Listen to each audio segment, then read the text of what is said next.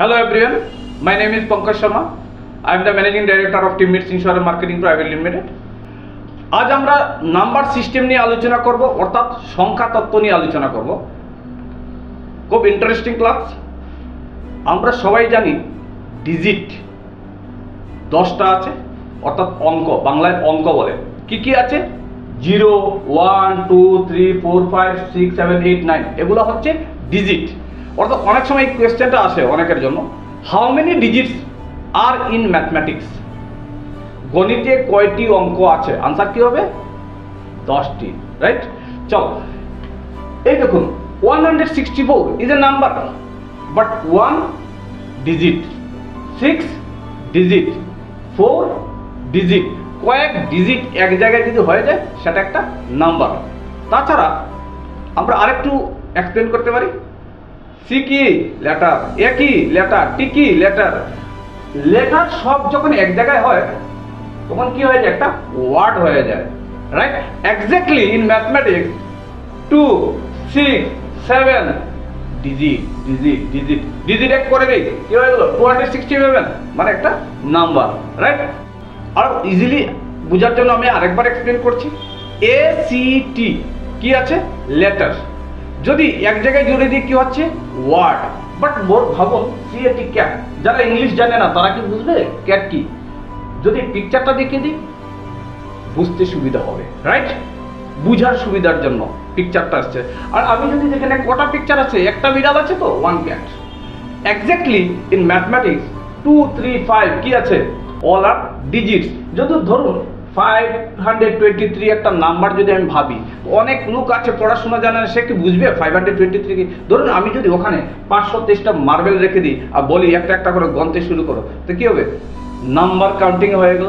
Exactly আমাদের ম্যাথমেটিক্সে digit প্রথমে আসে, তারপর নিউমারেল আসে মানে আইডিয়া নিউমারেল মানে কি হচ্ছে? একটা সিম্বল আইডিয়া আর নাম্বার হচ্ছে যা কাউন্টিং করা যায়, সেটা হচ্ছে নাম্বার আমরা সবাই ওনাকে চিনি। উনি হচ্ছেন আমাদের জাতির পিতা। উনাকে সবাই চিনে, সারা ওয়ার্ল্ড চিনে। ওনার ফেসগুলো সারা ওয়ার্ল্ড জানে। কিন্তু মজার ব্যাপারটা হচ্ছে, আমরা কিন্তু টাকাতে ওনাকে দেখেছি। যখন আমরা টাকাতে দেখি, টাকা যখন দেখি, এক ধরনের আমার ভাব চলে, অনুভূতি চলে আসে ইন্টারেস্ট আমরা যখন ওনাকে স্ট্যাচুতে দেখি, আরেক ধরনের ভাব চলে আসে। মানে ওনার প্লেস যখন চেঞ্জ হয়ে টাকাতে এসছে, এক ধরনের স্ট্যাচুতে গেছে, তখন আরেক ধরনের exactly in mathematics there are two value one is face value Mahatma Gandhi সবাই চেনে ফেস ভ্যালু আবার উনি টাকাতে আছেন স্ট্যাচুতে আছেন that is call place value অঙ্কতেও সেই একই গল্প। ধরুন এক্সাম্পল দিচ্ছি three three face value three মানে মহাত্মা গান্ধী সবাই চিনে সবাই চিনে ওনার ফেস ভ্যালু থ্রি মানে থ্রি মহাত্মা গান্ধী মানে মহাত্মা গান্ধী। কিন্তু প্লেস ভ্যালুটা কি? একক দশক শতক ওয়ান টেন হান্ড্রেড মানে থ্রি হান্ড্রেড প্লেস ভ্যালু স্থান অনুসারে তার ভ্যালুটা বেরিয়ে আসে। যেমন টাকাতে এক স্ট্যাচুতে আরেক রাইট এটা আরেকটা এক্সাম্পল থ্রি ভ্যালু কি আছে? Face value three three place value কি আছে? থার্টি কারণ ওয়ান টেন মানে একক দশক রাইট আরেকটু। Six five seven four nine sixty five thousand seven hundred forty nine নাম্বারের মধ্যে ফাইভের ফেস ভ্যালু কি আছে? ফাইভ ফাইভ প্লেস ভ্যালু কি আছে? ফাইভ তারপরে দেখুন ফাইভ থাউজেন্ড আছে মানে একক, দশক, শতক, হাজার মানে পাঁচ হাজার রাইট ফাইভ থাউজেন্ড ক্লিয়ার এবার আমরা একটা নতুন কোয়েশ্চেন নিয়ে আলোচনা করছি, যে what is the face value and place value of two in seven three two zero seven অর্থাৎ দুইয়ের প্রকৃত মান ও স্থানীয় মান কত? এই নাম্বারটার মধ্যে আছে। আমরা যদি একবার দেখে নিতে পারি যে দুইয়ের এই জায়গাটাতে দুই যা আছে, সেই দুইয়ের প্লেস ভ্যালু কি আছে আর তার ফেস ভ্যালু কি আছে? দেখুন, দুই সে নিজেই, দুই এর ফেস ভ্যালু মানে দুই নিজেই আছে। আর প্লেস ভ্যালু কি আছে? ওয়ান টেন হান্ড্রেড মানে টু হান্ড্রেড ক্লিয়ার এবার আমরা আলোচনা করব find the sum of the face values of nine and six in this number এই নাম্বারে আমরা আলোচনা করব। রাইট তো এখানে কি আছে? আমরা যদি নাইন নাইনের ফেস ভ্যালু কি আছে? নাইন নিজেই। সিক্সের ফেস ভ্যালু কি আছে? সিক্স নিজেই। তাহলে দুটাকে আমরা যদি এড করে দিই, তাহলে কি হতে পারে? ফিফটিন এবং এই কোয়েশ্চেনটা কোনো একটা হোটেল ম্যানেজমেন্ট এক্সামে দু হাজার সাত সনে এসেছিল।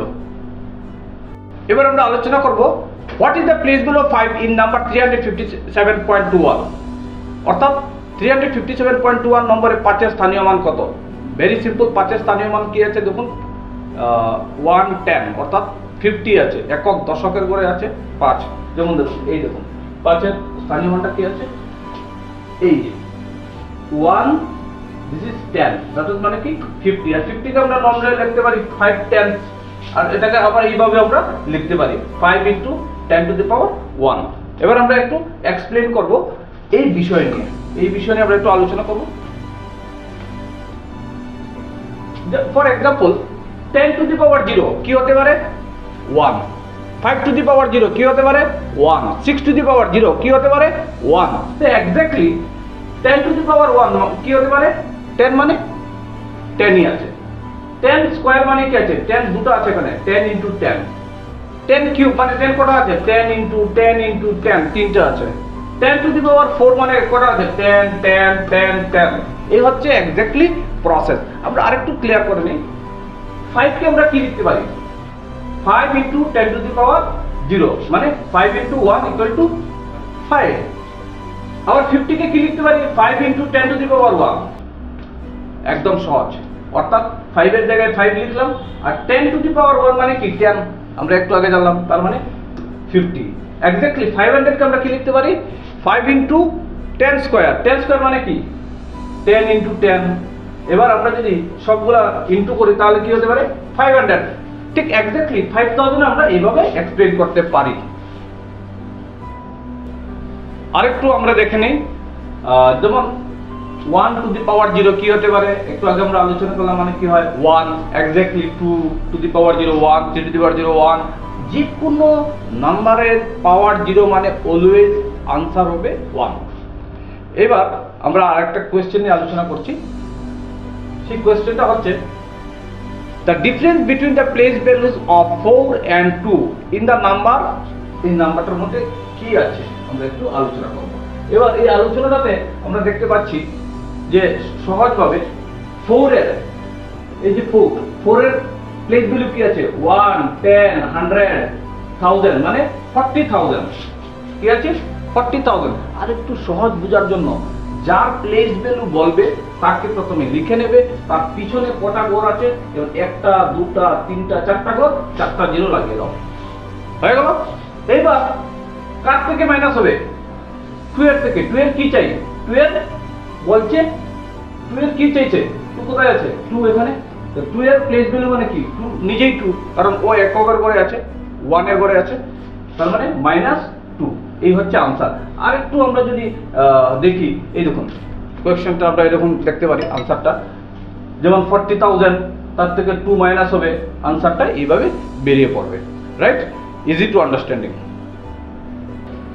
অনেক সময় আমি দেখতে পাই যে অনেকেরই এই জায়গাটায় কনফিউশন হয়। Which is the smallest one digit number এক অঙ্কের ক্ষুদ্রতম সংখ্যা কোনটি? কি হবে? আমরা কোথা থেকে শুরু? স্মলেস্ট নাম্বারটা কি? Natural number one two three four five six seven eight nine এভাবে চলে তো সবচেয়ে ছোট কি আছে? ওয়ান আছে? দেখুন, সবচেয়ে ছোট কি আছে? One one digit smallest number এই হচ্ছে সবচেয়ে ছোট সংখ্যা এক রাইট আবার আরেকটু দেখি which is the smallest two digit number two ডিজিটের সবচেয়ে ছোট নাম্বার কি আছে দেখুন?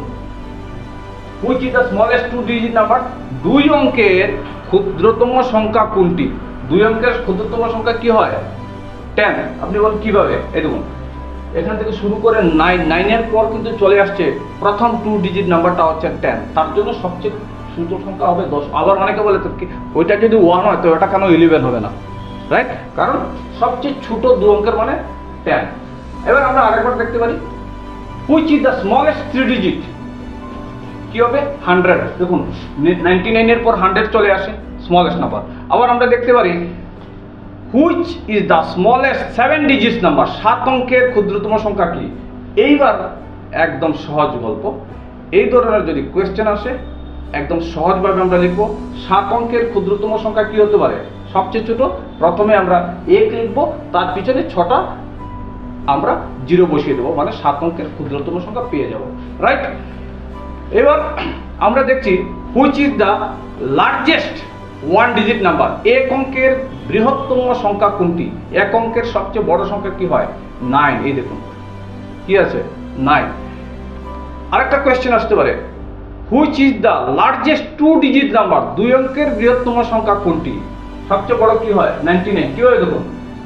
নাইনটি নাইন সবচেয়ে বড়। তারপর কিন্তু তিন অঙ্ক চলে আসে। তার জন্য এটা হচ্ছে সবচেয়ে বড়। Which is the largest three digit number তিন অঙ্কের বৃহত্তম সংখ্যা কোনটি? আনসার কি হবে? ট্রিপল নাইন রাইট এই দেখুন।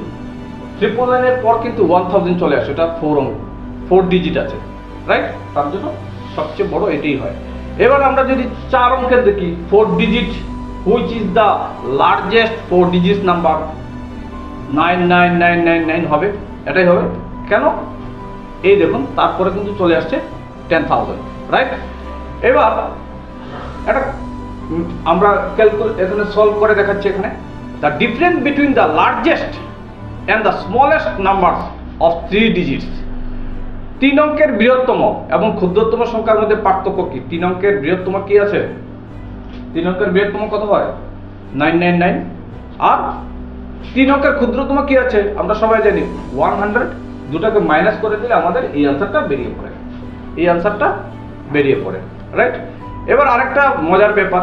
Using the digits one zero five and six the largest four digit number এই ডিজিটগুলো ইউজ করে আমরা একটা বড় সংখ্যা লিখব। এখানে কিন্তু অনেকেরই কনফিউশন হয় যে এখানে সব আমরা কীভাবে লিখব? এত টেনশনের কিছু নেই, সবচেয়ে বড় কি আছে? সিক্স তাকে প্রথমে লিখব। তারপর কি আছে? ফাইভ ওইটাকে লিখব। তারপর কি আছে? ওয়ান ওইটাকে লিখব। তারপর কি আছে? জিরো ওইটাকে লিখব। বাস হয়ে গেল। দু হাজার চব্বিশ সনের এই বছর জানুয়ারিতে জহর নবোদয় বিদ্যালয়ে যারা এন্ট্রান্স এক্সাম দিয়েছিল তাদের এই কোয়েশ্চেনটা এসেছিল। কি এসেছিল? Three zero zero zero nine ই সেই ম্যাথ এখানের মধ্যে কী হবে দেখো আমরা দেখে নিই একবার। একদম সহজভাবে আমি একটু এক্সপ্লেন করে দিচ্ছি। এইটা প্রথমে আমি লিখব। ওইটা কি আছে? থ্রি ইন্টু টেন থাউজেন্ড মানে কি হচ্ছে? থার্টি থাউজেন্ড প্লাস নাইন ওইটাকে আমি যদি একটু আহ, আর একটু এক্সপ্লেন করি তাহলে কি লিখতে পারি? Three three ten thousand and nine one তার মানে আমার আনসারটা কি হবে? এখানের মধ্যে আমার হতে পারে? থ্রি টেন অ্যান্ড নাইন এই আমার কারেক্ট হবে।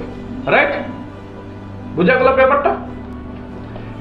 এবার আমরা আরেকটা কোয়েশ্চেনে আলোচনা করব। The difference between six digit smallest number and four digits greatest number ছ অঙ্কের ক্ষুদ্রতম সংখ্যা এবং চার অঙ্কের সবচেয়ে বড় সংখ্যার মধ্যে পার্থক্য কি আছে? একদম সিম্পল ছ অঙ্কের ক্ষুদ্রতম কি আছে? এবার কীভাবে লিখতে পারি? একটু বলো তো দেখি, কীভাবে লিখতে পারি? প্রথমে আমরা ওয়ান লিখব, তারপর কি বলছে ওরা? ছ অঙ্কের তো, ছ অঙ্কে ওয়ান টেন হান্ড্রেড থাউজেন্ড এইভাবে আমরা লিখতে পারি প্রথমে ওয়ান লিখে, ছ অঙ্কের যখন বলছে, তার পিছনে আমরা পাঁচটা জিরো লাগিয়ে দেবো। হয়ে গেল না? One two three four five six মানে ছটা অঙ্ক হয়ে গেল। আর বৃহত্তম কি হয়? Nine nine nine nine nine total যদি আমরা একটার থেকে একটা মাইনাস করি, এই অ্যান্সারটা আমাদের বেরিয়ে আসবে। এই দেখুন, একদম সহজভাবে আমরা এইভাবে সলভ করতে পারি। আমার, আমাদের সবার পছন্দের রসগোল্লা, কিন্তু আমরা কি জানি রসগোল্লার জন্ম কোথায় হয়েছিল এবং কে জন্ম দিয়েছিলেন আজকে একটু আমরা জেনে নেব। রসগোল্লার জন্ম হয়েছে কলকাতাতে আঠারোশো আটষট্টি সনে নবীনচন্দ্র দাস। রসগোল্লার জন্ম দিয়েছিলেন। আমরা ওনাকে যখনই রসগোল্লা আমরা খাব, ওনাকে, ওনার কথা মনে রাখব। এবং আশা রাখি এটা আমাদের জন্য অনেক গৌরবের কথা। আমাদের দ্বিতীয় ভিডিও যেটা আসবে, সেটা ম্যাথমেটিক্সের উপরেই আসবে। এবং আশা রাখি আপনারা সবাই আমাদের চ্যানেলকে সাবস্ক্রাইব করবেন। যদি আপনারা সাবস্ক্রাইব করুন, তাহলে পরবর্তীকালে যখনই আমরা নতুন কোনো ভিডিও নিয়ে আসব, আপনাদের কাছে নোটিফিকেশন চলে আসবে। ধন্যবাদ।